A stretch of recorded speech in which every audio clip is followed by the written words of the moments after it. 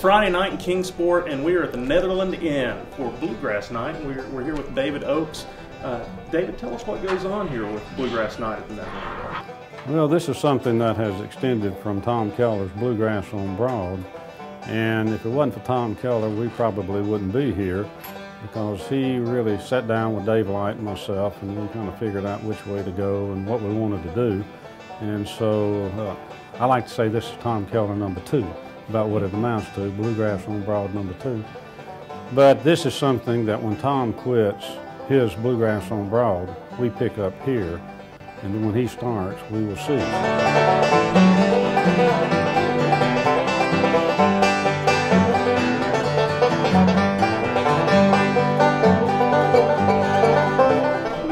We're here at the Netherland Inn. It's beautiful uh, and it's historic. There's a lot of a lot of past history, a lot of a lot of stories here about the Netherland Inn. Can you tell us exactly uh, what you guys do here with the Netherland Inn and, and give us a, an overview of the history of the place? Well, the Netherland Inn is a all-volunteer organization, and we exist by memberships and by events and such things as what's going on here. But of course, this is a no-charge event whatsoever and we asked for donations, and uh, they have been very, very good as far as uh, supplying us with, the donations. But the thing too that it does expand the one of the strengths of the region being music, and then the other strength being history.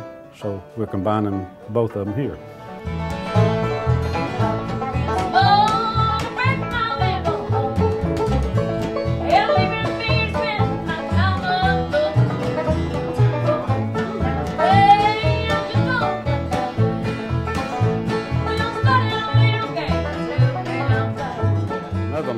Started by William King out of Saltville, Virginia. He wanted to have a place where he could have a dormitory type of concept where people that would be living there would be building flatboats. And there will be a flatboat in front of the inn probably in the next three or four months, 14 feet wide, 60 feet long. Actual replica of a flatboat. At this day and time, you are now seated at the nation's only registered historic site that served as a river port and served as a stagecoach stop the nations only. I've been playing all my life, just so a few years. Starting as a six-year-old. How about you? I started probably when I was about eight. I guess playing guitar. Started on the banjo when I was about 13. Wesley, I got to figure they've probably been playing a little longer than you have. Just to guess. How long have you been playing the guitar? Seven years. Seven years. So you started off young play play guitar? I like it.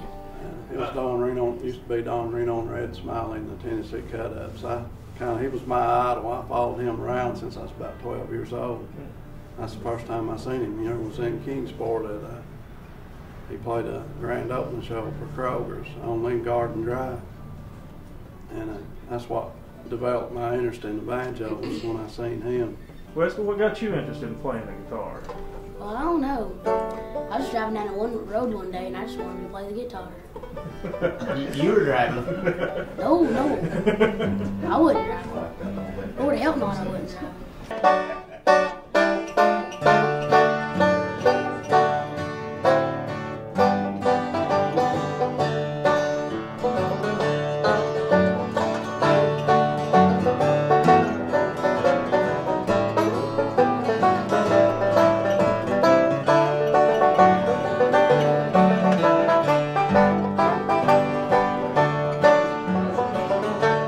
Hopefully this will turn into a, a full year type of concept and maybe it will be an all year round event. Because in the barn, here, on the porch, and also on the flatboat. So um, there, there'll be a lot of places.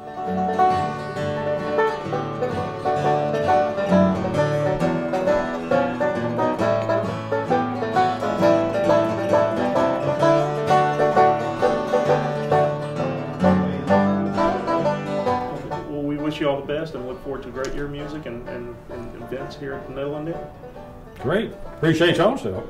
Thank you.